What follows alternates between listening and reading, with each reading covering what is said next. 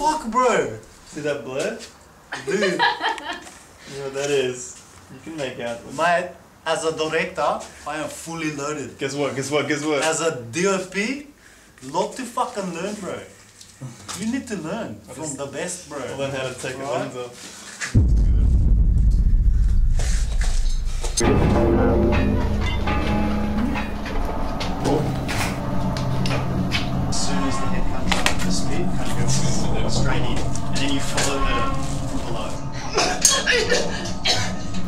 It's, it's just a really difficult and complicated, fucked up scene. Like, you know, we've got huge amounts of really complicated stunt choreography We're gonna shoot from this side though, right?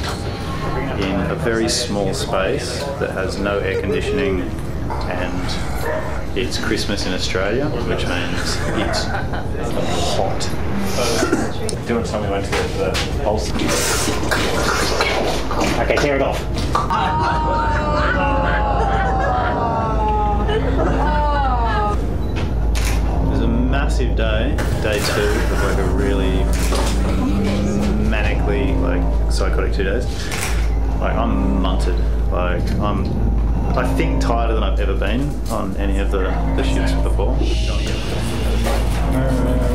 And then come up here. Uh, very lucky to have such talented people, but I think we're pushing people to the edge.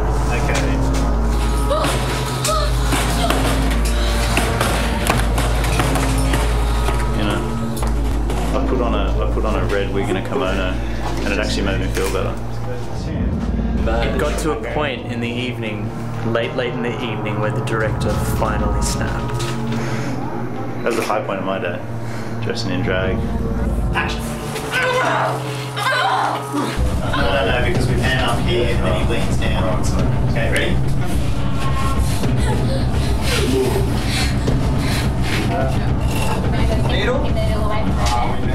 Uh, I don't know, how'd you go first three days? Yeah. So.